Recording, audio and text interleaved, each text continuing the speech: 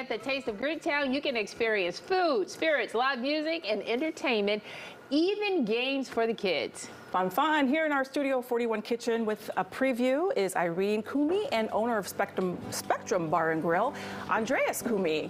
Good morning. Hi there. Any relation there going No, on? this is not at all. yeah, Not at no, all. we're just kidding. Thank you guys for coming in. This is so fun. Taste Yes. of Greektown, good time. Opa, you know, we hear that a lot, right? Yes. But when I looked it up, it says father or grandfather. So does it have multiple meanings? The meaning I know is just to celebrate a good time. Okay, Yeah. right. Sometimes I say it when I drop something, of Oh. course. Um, It's a, u- like a universal kind of a catch-all word, yeah, huh? exactly. Okay. And when you're cheersing, or that's always a good time. Toast. Yeah, yeah. Okay, so the Taste of Greek Greektown's coming up in a couple weeks. Yes, And yes. what's what's different about this year? Well, this is our 32nd year, and uh, Spectrum's been participating since the beginning. Um, people can expect to get a really good taste of the neighborhood, as always. But we have so many activities for the family and for, you know, going out and having fun. We have the gyros seating contest. Uh, we have live Greek dancing. You can learn how to Greek dance as well. We have tons of food from the Greek restaurants in the neighborhood. Beautiful shops, Oh, artisanal yeah, jewelry. So really, just kind of the whole gambit. Yeah. All right, so we're shutting down uh, Halsted, right? Yes. Halsted between Uh, between Van Buren Buren- and, and uh, Jack- Jackson? Jackson? No, no, no. Yeah. Okay. No, Van Buren and Adams. Adams. Adams. Yeah, yeah, yeah, oh, okay, yeah. okay. Yep, yep, so yep. we got a nice little stretch there. All right, so you brought in some food for us to try today, Yes, right? But we also have to point out this is not the grill that it normally comes in on. We couldn't let ha- have you bring in the charcoal grill, so you made an exception for us. So we Yes. thank you for that. Yeah. But the food is going to be yummy nonetheless. Tell us what you have for us. So we got we got the sticks, the pork kebabs, which it's sort almost done here, but I, Yeah, I'll show you you, how show? to prepare it. Sure. uh, to, to- Let's so get, go for it. I put the meat already cut, and I put some olive oil, Greek olive oil from Kalamata. Oh, It's all okay. Does it matter- so it we matters fly it in. which- it's small Alright. It that's it's simple cuisine, so you really have to have And then I put my ingredients. Greek spi- spices. Yep. Wild Oh. mountain oregano from Greece, also. Oh, mix it up. Such a good flavor. Of course.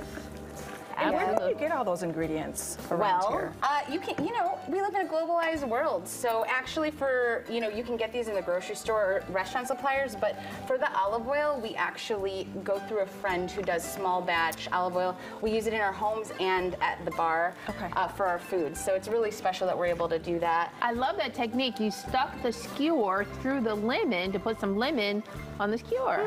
Yeah, the, the lemon kills all the extra bacteria on the things. Uh, oh, that's the reason. Oh, okay. And it gives some good flavor yeah, too. so All right. So yeah, um, we're talking about the grills. Those are custom ordered from Cyprus, where my dad is from, Uh-huh. and so you'll see those rotating all weekend long. We Oh, do yeah. the lamb chops on there, the pork shish kebab, the chicken, and it gives it a, a great flavor and keeps Sure. the, the meat very tender too. Okay, that's what we care about. Tender Exactly. and then also juicy at the same time.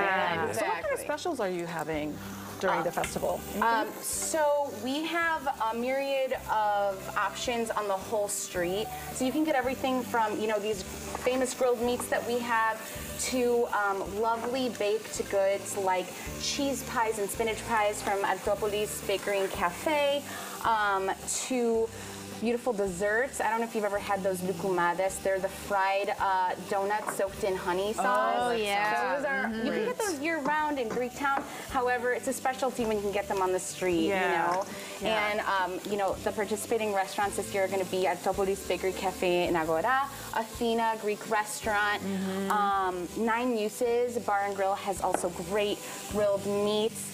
And uh, Mr. Greek Gyros, which always provides a standard great uh, sandwich. This is truly a family, a Yeah. family occasion that everyone should definitely come out and take advantage of. Yeah, absolutely. And that family is like a very important um, value in Greektown in general. And that's what makes the neighborhood unique. You have generations of families that have these businesses. And we do have a lot of change in the neighborhood, but it is also still a slice of history. You can walk into a restaurant and see the owner there, and he's gonna, he or she will greet you.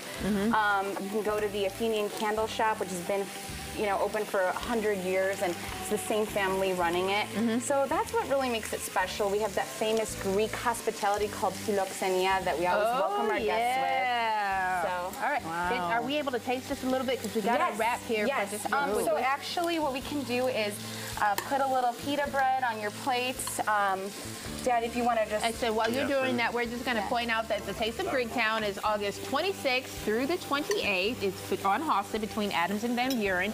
There's the social media handles as well as the website there for you to check it out. Is it free?